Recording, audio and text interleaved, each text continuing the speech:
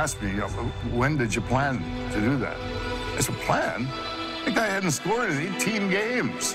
How did I know he was going to score?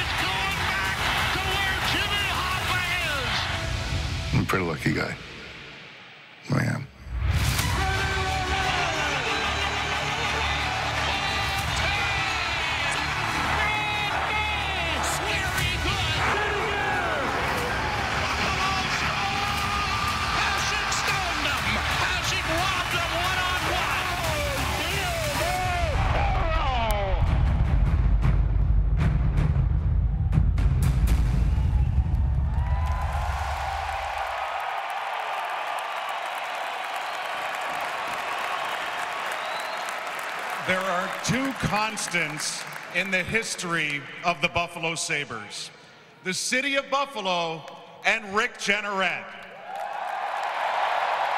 Since 1971, Rick's unmistakable voice has served as the backdrop for the greatest moments in Buffalo Sabres history.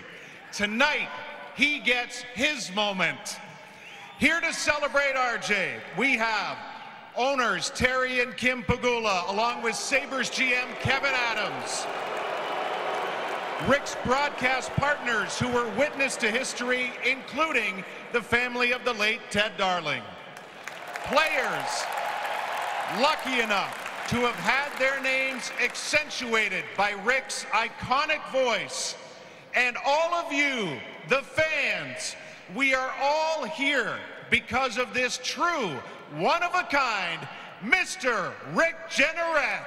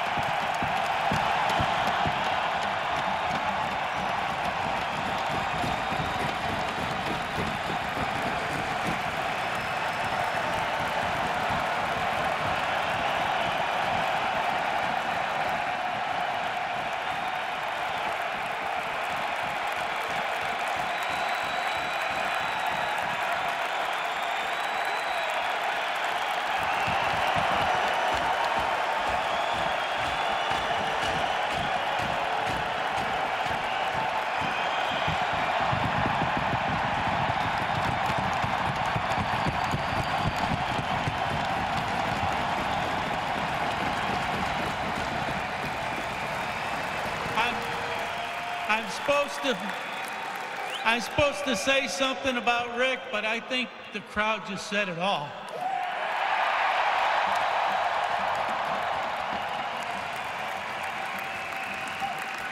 Rick, in 1971, you started your long journey with the Buffalo Sabres organization. I was a sophomore in college in 1971. I remember sitting on an overpass north of Pittsburgh, listening to your voice on the radio. Uh, I can tell you this, Rick. You are a big part of why I have become a Buffalo Sabres fan, and I will remember that for a long time.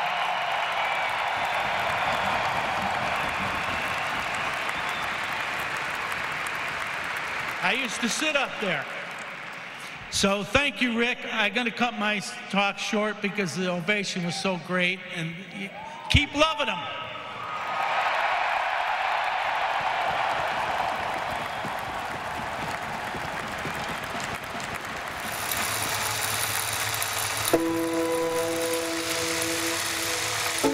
For most sports fans, it's what they've seen that stays with them, the replay in their minds. But not in Buffalo. In this town, the triumphant moments, the unforgettable excitement, the did that really just happen ecstasy, it's all tied to what we heard. Hockey in Buffalo became art on a spoken canvas. pretty sweet moment to, to be a part of. When I hear his call, I still get chills. You reaffirmed our faith and turned a simple rhyme into a christening. I'm identified by that one moment. The day I die, they're going to play the Rick Jeanneret's voice and call, and everybody will smile and they'll toast Rick Jeanneret because it's unbelievable. No, there's no one else who could have told our story quite like you. Rick would genuinely get excited, and his face would get red. And you could just hear the anticipation building. He could ramp up into a fever. And all of a sudden, the call comes. Exciting. It's addictive. He made a game so exciting that you couldn't turn it off. He has the ability to take the magnificent and turn it timeless. Every fan, every player in the arena knows the moment isn't complete until they discover your call. You listen to his call, and the excitement's always there. It's the passion, the spontaneity, the joy, the goosebumps, the humor, and the countless YouTube searches. There's the top 10 RJ calls, and I made it onto a couple of them. I remember sending it to all my friends. Just the way he calls it, it's going to be a memory in their mind forever. You know, those are the, the best times of, of my life. But really, it's the man, the beating heart of Sabres hockey. The minute that headset goes on, he's there. He sounds like he's 30 years old again. It's always the same. A big smiling face staring at you. They broke the mold, man. He's the guy. RJ is, to the truest sense of the word, one of a kind. He is every bit the Sabre of all time. And he said, this building is bedlam. And he was the happiest ever. He feels like it's home. Your name will hang in the rafters. Top shelf, of course. But your voice will echo forever.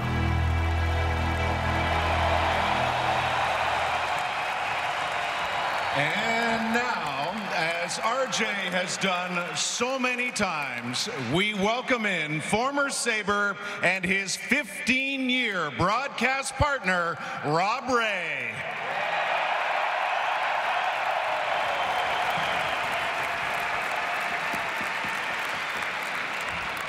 RJ has been great for Sabres hockey. His calls are legendary. As his TV partner, he took me under his wing and showed me the ropes of broadcasting. Then, after countless nights on the road, at dive bars, bowling alleys, racetracks, we became good friends. RJ, thank you for your friendship, your mentorship, and for making the plays that we made on the ice live forever through your one of a kind calls.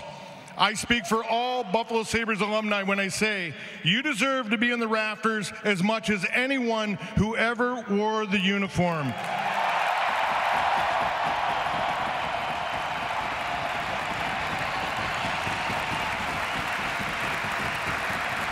You are one of us.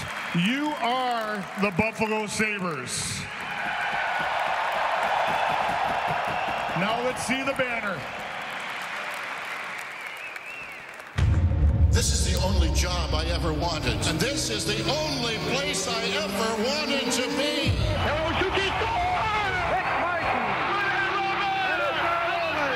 Tim Horton feeds Rick Martin.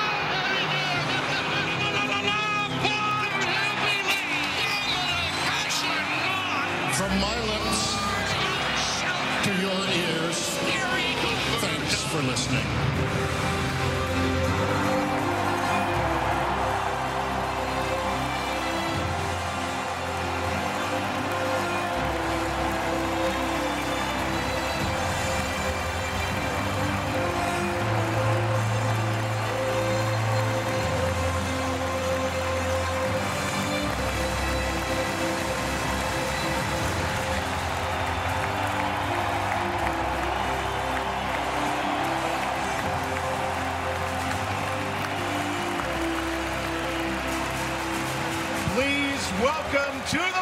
Microphone Rick Jeanneret.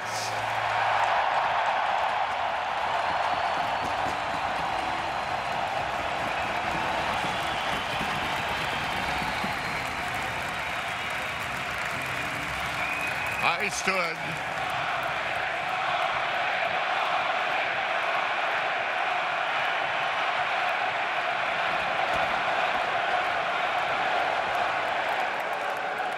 I stood down here 10 years ago upon my induction into the Sabres Hall of Fame along with the late Dale Hawerchuk.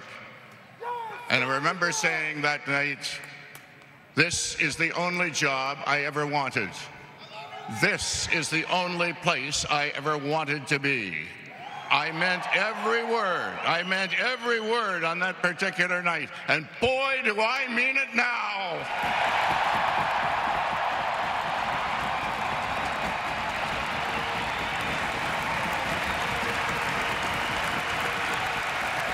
I, I have so many to thank that I'll pare the list down because we'd be here another 51 years if I went through them all. My wife, Sandra, AKA Cupcake, right at the top. Not only for putting up with me, but also for steering me through some rather tough medical hurdles over the last decade. And also aided and abetted by a great medical team led by Dr. Tom Laurie at ECMC. Also, my kids, Chris, Mark, and Shelley, and all the grandbrats they begat. Although I guess I've got to stop calling them that now, they're getting too darn big. To my broadcast partners of today and yesterday, they're all out here. And may I also mention, please, the late Ted Darling and the late Pat Hannigan.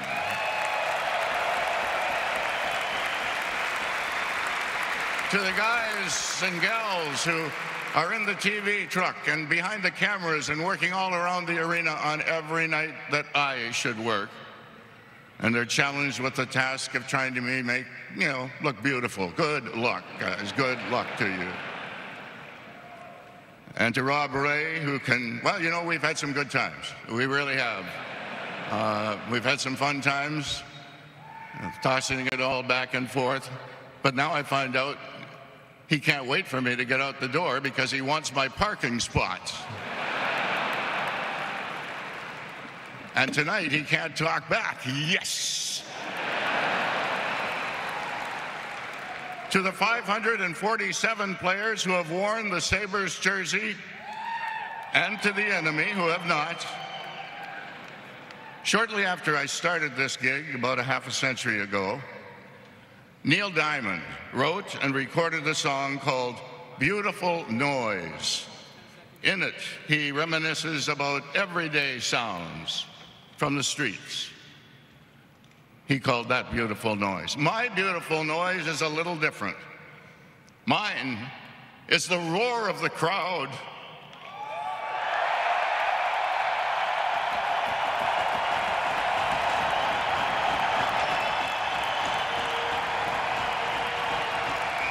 The roar of the crowd from you and your moms and dads and your grandmas and grandpas and even some great grandmas and great grandparents. I've met many of you, many. The noise you and all the others have created is like my lullaby. I find it very soothing. And so, how do I acknowledge the hundreds of thousands of people who have gone through the doors at the Aud and here at KeyBank Center? How do I acknowledge that now it must be millions listening and watching over the last 51 years? Well, I'll tell you how much I appreciate your beautiful noise. I would say this to you. I have only three words, just three. I love you.